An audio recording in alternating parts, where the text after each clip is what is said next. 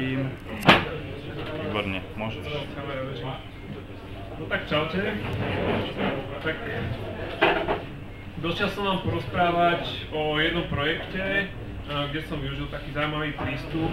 Nazval som to, že Custom Java In-Memory Cache. A vlastne ukážem vám, ako sa dá, ako sa dá s nejakými dátami, ktoré sa zmestia do ramky, čo, keďže ramka je už v dnešnej dobe pomerne lacná, čiže spĺňa to pomerne veľa aplikácií, dosiahnuť maximálny výkon, čo sa týka, čo sa týka nejakého čítania alebo proste priepustnosti v readoch. No, čiže custom in-memory cache, hej, všetky dáta máme v rámke, Uh, ďalej, výhoda tohto riešenia, čo vám ukážem, je vlastne, že si môžete navrhnúť nejaké custom štruktúry, proste tie dáta si usporiadate tak, ako sa vám to páči. Uh, budeme pracovať s eventuál konzistencií, čo je vlastne najsilnejší nástroj na škálovateľnosť. A vlastne je tam nejaký taký jednoduchý mechanizmus updateovania založený na triggeroch. No, výzva bola takáto, došiel som do jednej firmy, že chcú, majú vlastne, mali vlastne nejakú mobilnú aplikáciu Medzinárodnej hokejovej federácie, kde sa zobrazujú výsledky hokejových zápasov.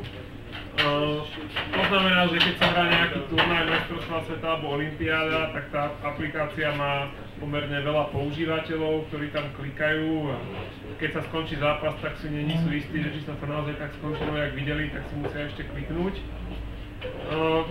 Tá appka má asi 400 tisíc používateľov, keď teda bežia tie majstrovstvá sveta. Najčastejšie vlastne, nejaký najčastejší request je tam na zoznam hier zo skore. No a bolo také zadanie, hej, že tak piku sme mali, že buď 5000 alebo 50 tisíc requestov a neviem, že či za minútu alebo za sekundu, že tak sprav to radšej na tých 50 tisíc za sekundu. No. Čiže uh, oni to mali spravené na PHPčku a proste dosť im tie servery akože nejak, nejak to nezvládali, boli na to vysoké náklady. Uh, bolo to hostované na Amazon Cloude, vlastne aj teraz je to hostované na Amazon Cloude, ale a proste cítili jasnú potrebu, že s tým treba niečo spraviť, že to treba spraviť lepšie, efektívnejšie a rýchlejšie. Tak výzva bola prijatá tak 50 tisíc requestov za sekundu je fakt veľa, hej, čiže potrebujeme veľmi silnú škálovateľnosť pre. Uh, sú, to, sú to nejaké výsledky, sú to vlastne read-only dáta, výsledky, štatistiky a tak ďalej. To znamená, že či sa tam pridá nejaký 500 milisekundový alebo 200 milisekundový delay navyše, to tým užívateľom vôbec nevadí. A to je super, lebo môžeme využiť eventuál konzistencii, čo je vlastne najsilnejší nástroj na škálovanie. No, keďže tie dáta sa v pohode zmestia do hýku, ale zase na druhej strane musíme nad nimi robiť nejaké queries a proste nejaké filtrovanie a nejaké zoraďovanie a tak ďalej, tak je jasné, že najideálnejší prístup je proste mať to normálne ako nejaké Java objekty a medzi nimi si robiť normálne vyhľadávanie, ako keby som tie objekty mal nainicializované a proste napíšem si, napíšem si teda nie takú deklaratívnu query ako SQL, ale napíšem si nejaký for ktorý mi to prejde, prefiltruje. A keď to teda budeme mať všetko hýpe a budeme to vedieť nejako updateovať, tak máme vyhrané, lebo to je, to je proste, to sú mikrosekundy a proste vieme dávať tie výsledky veľmi rýchlo. Ešte, ešte vlastne, aby som spomenul, no, ukážem to na. No, takto nejako vyzerá celé to riešenie. Uh, tu je nejaký systém tej Medzinárodnej hokejovej federácie, ktorý si tam šrotí tie dáta, sleduje to púzisko, sú tam ľudia, čo ťukajú, že áno, padol gol, nepadol gol a tak ďalej. Uh, potom je nejaký listener, ktorému tento, ktorý počúva na nejakom porte a potom mu tam tlačí nejaké XML-ka, hej. Tie XML sa zapisujú do nejakého adresára na disk. Na tom disku sa, e, je nejaký ďalší proces, ktorý som ja nemenil a vlastne už existoval v tej appke, ktorý tie XML šrotí, číta a pušuje to do databázy. Hej. Na ten systém, ktorý bol doteraz, on to z tej databázy normálne čítal a tá databáza sa proste stala bottleneck, hej, že, že napriek tomu, že to bolo PHP, tak ako e, vlastne tým bottleneckom bola predsa len tá databáza a museli tam nasadzovať pomerne silný stroj, ktorý stal strašne ťažké prachy a tak ďalej, aby to zvládalo proste to množstvo requestov. ja som navrhol taký spôsob, že doplníme tam nejaké triggery a tie triggery budú zapisovať do nejakej tabulky zmien. Tá tabulka zmien bude obsahovať vlastne zoradené dáta podľa toho, že čo sa vlastne zmenilo a kedy sa to zmenilo, povedzme zoradené podľa IDčiek. No, potom na web servery, tak na začiatku si nainicializujeme všetky dáta, ne? potom si budeme čítať z tej tabulky zmien, prečítame si, ja neviem, každých 200 milisekúnd zmeny a zistíme, že zmenili sa riadky XY v tabulke, povedzme, hry, riadky XYZ v tabulke, povedzme, štatistiky. Načítame tie zmenené riadky a updateme tú objektovú cache. No a potom tu nám máme len nejaký kontroler, ktorý vlastne do tej cache normálne ako pod objektom pristupuje, filtruje si to, proste robí si s tým, čo chce a a vyhadzuje výsledky do nejakých JSONov, lebo vlastne mobilná apka, čiže komunikuje to cez nejaké JSONy, alebo v prípade um, iPhoneovej apky cez nejaké playlisty. No a vlastne takýmto jednoduchým spôsobom máme vyriešený ten problém, lebo týchto web server node si môžeme nasekať koľko chceme, koľko sa nám páči a aj tak sa tá databáza bude relatívne nudiť, hej, lebo pôjde na ňu, neviem, 30 requestov za sekundu, aj keď sa tie dáta často menia, a keď sa nemenia, tak pôjde 5 requestov za sekundu. Okay? Poďme sa kúknúť, že ak to teda vyzerá, ten kód nie je nejaký extra zložitý. Takže tabulka zmien vyzerá asi takto, máme tam nejaké generované ID, to znamená, že pamätáme si číslo poslednej zmeny, ktoré sme, ktorú sme mali a načítame si len ID novších zmien. Entity ID, to je ID vlastne riadku, ktorý sa zmenil, Entity Class, to je že ktorá tabulka, a Operation, že či to bol uh, add, update alebo delete. Pomerne jednoduché. Potom na každú tú tabulku nasadíme takéto trigger, to sa dá tiež relatívne rýchlo copy paste, len sa tam pomenia veci. Uh, vlastne na každú tabulku máme tri triggery, uh, update, delete a, a insert. No a vlastne vkladá to do tej, tabulky changes, nejaké záznamy a vlastne už to funguje, hej, čiže toto je tiež jednoduchá časť. Potom máme nejaké podjoin entity. Tie si môžeme navrhnúť vlastne viac menej ako chceme, ale povedzme, že nejakým spôsobom, keď to kopíruje tu tie tabulky, tak je to akože v pohode. Hej a plus si tam môžeme pridať nejaké kolekcie, asociácie a tak ďalej, ale v princípe, no proste, máme nejaké podžo klasy, kde si tie dáta storujeme. No, potom máme tu custom cache, to je tá veľká výhoda, my si tie dáta môžeme usporiadať podľa vlastného uváženia, hej. Keď si poviem, že chcem to mať v mape, tak to mám v mape. Keď potrebujem mať nejaký index zoradený podľa niečoho, tak použijem napríklad táto concurrent skiblist map, to je vlastne mapa, ktorá môže mať, ktorá sa dá proste traverzovať v nejakom predefinovanom zoradení, podľa nejakého komparátora, ktorý sa definuje pri vytváraní tej mapy. Zároveň sa dá proste concurrently meniť, čo je úplne super, to znamená, že, že vlastne tú konkurencii za nás riešia tieto concurrent collection. A nemusíme to, nejak, nemusíme to nejako riešiť my, proste túto mapu môžeme, môžeme iterovať a zároveň v pôvode môže to ďalšie vlákno, ktoré to updateuje, meniť a nič sa nestane a, a proste není tam nejaký, proste jediný nejaký taký, že môže pri nejak, nejakom iterovaní niektoré, niektoré entity to vynechať, ale ale akože je to veľmi výhodná vec. No, čiže ak môžu vyzerať tie dátové, tie vlastne tie dátové entity a tá custom cache podľa vlastného uváženia, väčšinou si to dáme do nejakej concurrent hash mapy podľa ID, aby sme k tomu vedeli pristúpiť a vlastne vymeniť starý objekt za nový. Alebo si to môžeme zoradiť ako, ako tuná, proste, že budeme mať uh, ja viem, výsledky E, výsledky podľa, podľa hier, ne?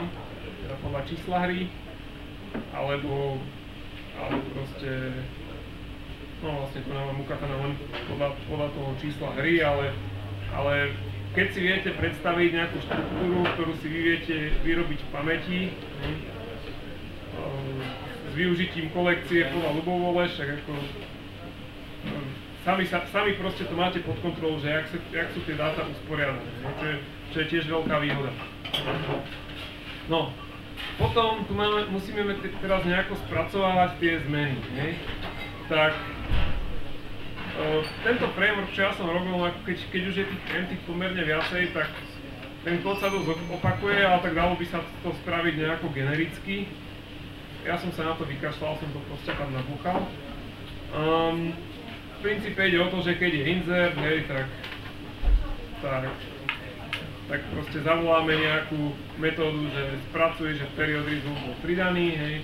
Keď je delete, spracuje, že bol vymazaný a keď bol updated, tak spracuje, že bol, spracuje, že bol updated plus ešte nejaké také defenzívne veci, aby, že keď, keď ho máme akože edit a náhodou tam už taký s idečkom je, tak ho predtým vymažeme, tak ďalej, hej, že ako nech, nech, nech je to trochu defenzívne, nech je tam nejaký priestor na, na nejaké chyby, akože tak nech sa to, nech je to také robustné, aby sa to vedelo spamätať. No, potom už sa volá priamo tá metóda, kde to teda nejakým spôsobom tú zmenu zohľadníme v tých dátových štruktúrach, No a to je také, že tak potrebujeme to, potrebujeme to nahradiť. Ak je to v nejakej usporiadanej štruktúre, povedzme tej konkurencký prísť mape a zmenil sa ten usporiadávací kľúč, podľa ktorého to máme usporiadané, tak to musíme removenúť a znova addnúť a tak ďalej. Hej, ale akože je to proste plain, or, plain of Java, proste nie je to Není to žiadna veľká veda, len tu nás si treba trošku bacha, aby sa teda tie, aby sa tá custom cache, ktorú sme si navrhli, updateovala správne. No, no a potom to už v princípe funguje, dá sa z toho normálne čítať, normálne si getnem akože povedzme tú entitu, kde mám, kde mám, kde mám naskladané, naskladané tie hash mapy a normálne v kontroleri si to už prechádzam, filtrujem, proste robím si s tým, čo chcem, hej, hlavne čo sa týka čítania. Potom som robil aj nejaké vychytávky, ktoré neboli na tento projekt, ale ešte na iný projekt. A napríklad, že počkaj na zapracovanie zmeny. To je veľmi dôležité, že teda keď chcete, aby ak teda užívateľovi dáte možnosť tie dáta aj meniť a nechcete meniť ten spôsob čítania, tak funguje to asi tak, že načítam si, aké je najväčšie idečko, teraz changes tabulky, potom spravím tú operáciu, ktorú som chcel spraviť, normálne transakčné, a potom do sešny si uložím, hej, že, že proste čaka, do, do sešny si uložím, že čakaj na zmenu s tým idečkom, ktoré som získal tu na. Keď robím nejaký read, tak, tak čakám, hej, kým, tá, e, kým vlastne tá e, dátová cache sa neupdatene na, na proste zmenu, kým nezapracuje proste zmenu s tým daným idečkom alebo s idečkom nejakým vyšším, že, že si ukladám, ktorá zmena bola zapracovaná posledne.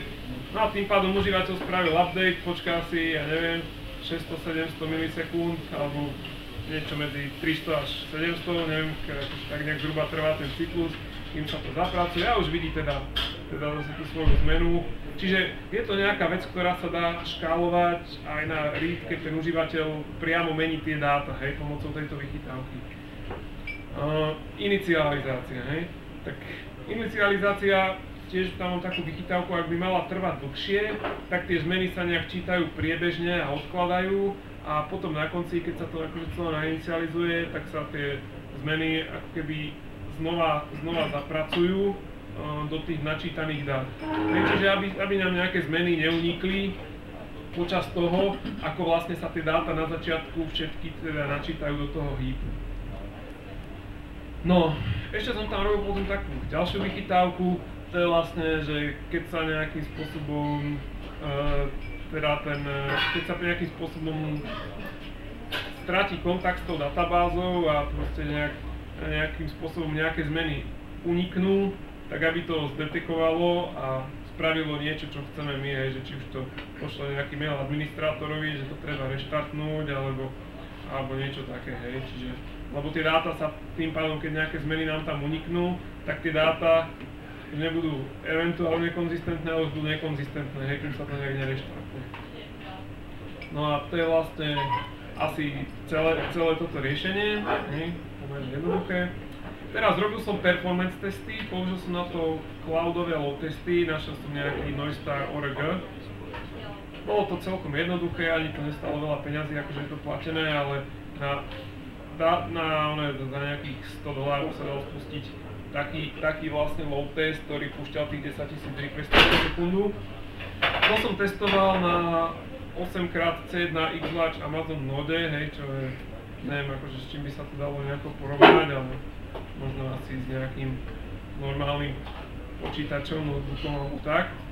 No a dávalo to 10 000 requestov za sekundu pri 50% zaťažení CPUčka a response time 40 milisekúnd. E, dá sa povedať, že asi som viacej nevedel vytlačiť z tých cloudových testov a nechcel sa mi to opakovať ešte s väčším budžetom, lebo potom to teda nejak narastalo, hej, že koľko chceli peňazí za to, že keď sa akože robí čím ďalej tým viacej requestov, no tak som si povedal, že tak hádam teda tam nebude ten najpesimistickejší scenár, že to je 50 tisíc za sekundu, ale že to bude nejaká z tých iných štyroch možností, že, že čo vlastne akože je ten load v tom píku.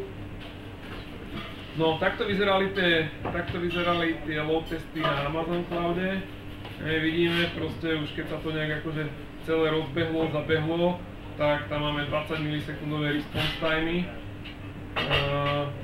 potom tu nám máme okolo 3 miliónov requestov za 5 minút, hej, lebo ono to nejak tak zobrazuje, čo teda zodpovedá tým 10 tisíc 10 tisíc za sekundu, CPU utilization, network, in, out.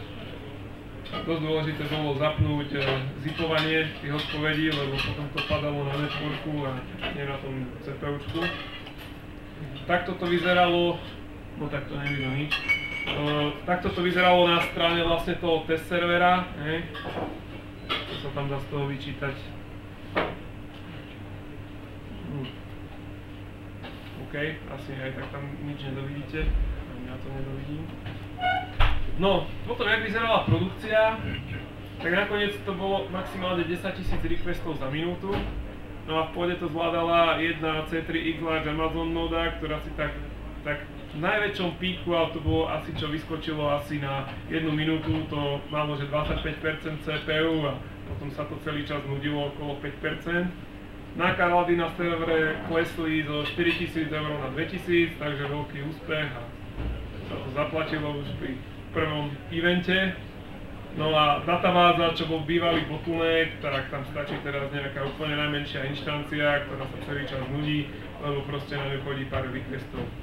Čiže dosiahli sme nejakú horizontálnu škálovateľnosť, lebo tých web server nodov sa dá nasekať koľko chceme a tá databáza, aby sa stala bottleneck, no tak to by si musel pomaly, to by si museli milióny ľudí refreshovať, hej, stále ten game a to sa proste nestane. No, ukážem teraz nejakú live ukážku, že jak sa to teda inicializuje. Alebo jak sa to načíta, hej takto to pustíme, to je normálne akože jetina, je to normálne akože čistá Java všetko. Žiadne nejaké knižnice. No. no a už, už si to načítal, hej, veci. Akože najviac dát tam za, zaberá tzv. game bits, to je to, že ľudia vlastne typujú, že čo kde kedy padne.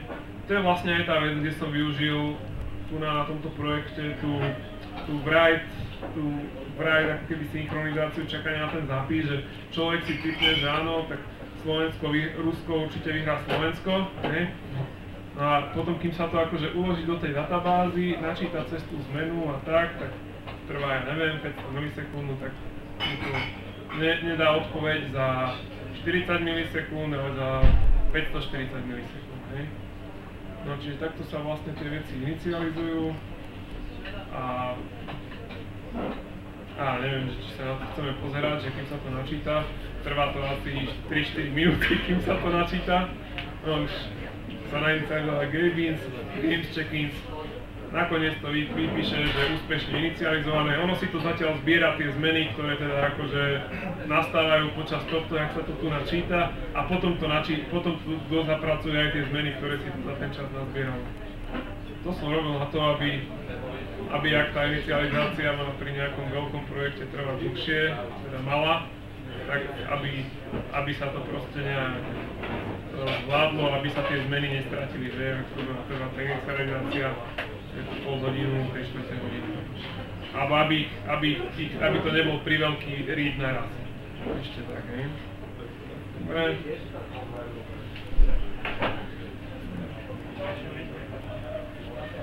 No a vlastne také nejaké kredit, tak tú mobilnú appku robí firma, ktorá sa volá Iglu.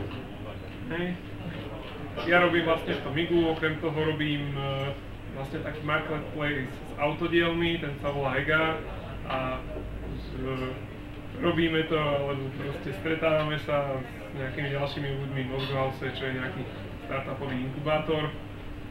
Asi toľko. No a teraz dám priestor teda na otázky, kto má nejaké... Prečo ste napríklad nepoužili in-memory databázu na to riešenie? Alebo zvažovali ste ešte?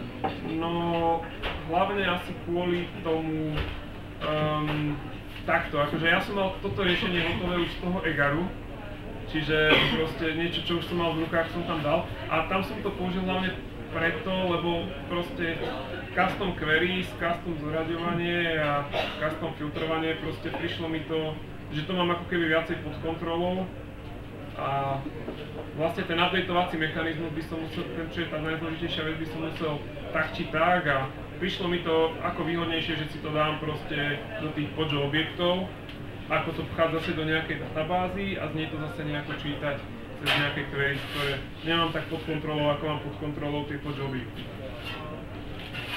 kontrolou ako v rámci transakčnosti, alebo nerozumiem vám Mm, v rámci, ako v rámci, v rámci toho, že s nimi viem robiť čo chcem, hej. Akože query majú také, proste, proste, že môžem na tým robiť tie programatické query, hej.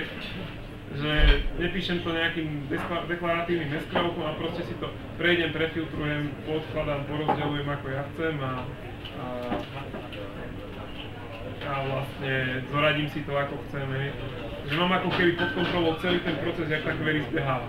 A na začiatku bolo spomenuté, že počas iterácie cez nejaké funkcie, No. tých funkciách, tak o, môže nastať o, nejaká nekonzistencia údajov. Ale myslím, že. Myslím, že hej, hej, bravo, to je vlastne ten concurrent keybase map, keď sa to iteruje. Myslím, že oni tam písali, že môže nastať, že keď sa to teda nejako iteruje, hej, tak určite to preiteruje všetko, čo bolo na začiatku, keď sa to začalo iterovať, ale nejaké veci, ktoré sa pridajú počas toho, jak sa to začalo iterovať, sa tam môžu alebo nemusia prejaviť. No a to bolo, to bol vlastne nejaký taký, to bola vlastne nejaká, nejaký taký ako keby príznak, čo mi nevadil. Hej. Teda, že začnem iterovať niečo, hej, a teraz keď tam niekto pridá nejakú ďalšiu do tej skiblis mapy počas toho, jak to iterujem, tak nemám zaručené, že či sa mi to vlastne zobrazí alebo nezobrazí, no tak to mi je jedno, hej, lebo vlastne buď asi to tam aj má byť, ale keď to tam není a nebolo to tam pred, pred 5 milisekundami, tak nevadí, že to nemá fyzicky. Zákazníkom bolo akceptované. No jasné, no. Akože to je takto, a akože aby si mal predstavu, hej, sú to teda tie výsledky, hej, a teraz, či sa tamto 3.1 ti zobrazí teraz, alebo sa ti to zobrazí o proste, proste ten e, pár, pár sekundový delay je tam akože v pohode akceptovateľný. Však aj tie XML, kým, kým to ten človek klikne, že áno, prišiel, nas- nastal ten gól, kým to teraz zošrotí tá IHF, kým to proste napušuje do, do tých XML-iek, kým sa zošrotia tie xml a tak ďalej a tak ďalej, tak akože či tam ja pridám 200 milisekúnd delay alebo nie, tak to nevadí.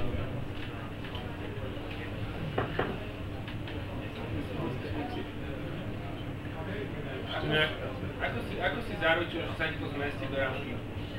normálne spočítal som si koľko toho je, nahral som si to do rámky a zistil som, že sa to v pohode zmestí. Preto si používal TX large nody proste, lebo tam je väčšia ramka? alebo- Nie, lebo výkon. Totiž to, keď máš tých 10 tisíc requestov za sekundu a tak ďalej, že v, v rámke to zaberá asi nejakých 600-700 mega, všetky tieto srandy a väčšina z toho sú tie BD a IDčka tých deviceov. A tie C3X Large, to, to C vlastne znamená, že je to orientované na compute, hej, čiže uh, ako keby výpočtový výkon. Išiel procesor na 20 MB, to není. Mm, bol to Waze, ale oni chceli mať istotu a teraz, že či dali 200 eur za tie dva týždne, alebo by dali 100 eur, tak to nehralo rolu, lebo mali s tým nejaké problémy po minulé roky, že to padalo a tak ďalej a proste, proste aj tak to bolo brutálne, ako keby brutálne vylepšenie. Ale vedelo by to aj, aj nižšie teda, je zvládne. Hej, hej, hej, akože dala by sa tam dať možno tá druhá najmenšia noda, hej, ktorá má už dosť rámky na to, aby sa to tam spustilo a, a vlastne tá tam vlastne beží celý rok, hej, okrem tých dvoch hlavných eventov alebo jedného do roka. Vtedy tam dáme niečo väčšie, radšej nie nejakú výsledku. A tá ini- inicializácia nemohla ísť nejak paralelne, keď, keď si nemal vyťaženú databázu, to by ti dosť riešilo možno aj škoda. Uh, paralelne, no, to by mohla ísť. Ako, že viac selektov odrazu, hej? Dobre, v podstate na BDIT, čo? Čo to bolo? BDIT? Hej, hej, no, to by mohlo ísť, no ale tak tiež akože sa, sa vieš ono, odtiaľto sa to inicializuje dosť pomalšie, ale keď máš v Amazone aj databázu, aj toto, tak to ide, ja neviem, 2-3 minúty a to je úplne akceptovateľná akože odstavka, takže, ale asi by sa to dalo zrýchliť. Robil si tam nejaké JUnit testy? Ne. A jak často to padá v produkcii teda? Uh, ešte to nepadlo. Totiž to takto, hej, akože na tom predchádzajúcom projekte, teda na tom Megare, tak akože tam sme to, akože, tiež to tam nejak extra nepadalo, ale akože vychy, vychytali sa tam nejaké veci, ono, skore ako by to malo padnúť, tak ti to prestane čítať tie zmeny nejak, alebo proste niečo to nezapracuje, alebo, alebo niečo také, ale to myslím, že to už sme povychytávali.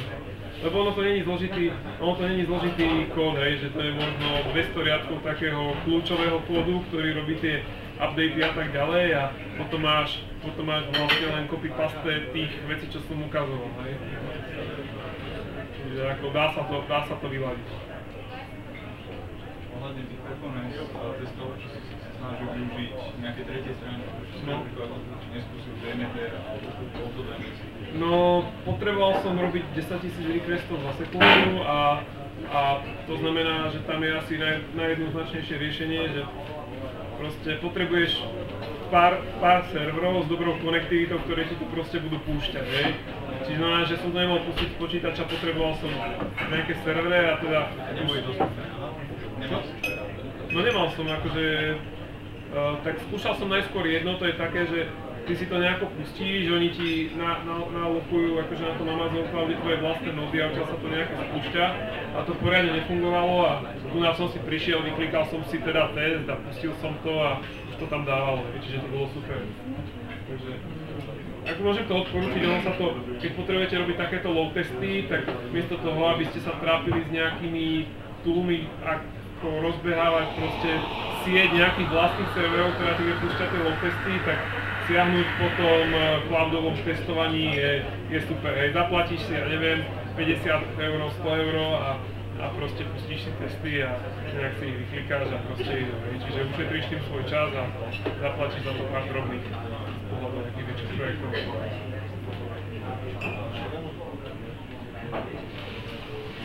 No. Ešte, ešte nejaké zákerné otázky? Nezákerné? Po prvé, po druhé, po tretie. Dobre, tak ďakujem teda za pozornosť. Dúfam, že to bola aspoň trochu zaujímavá prednáška.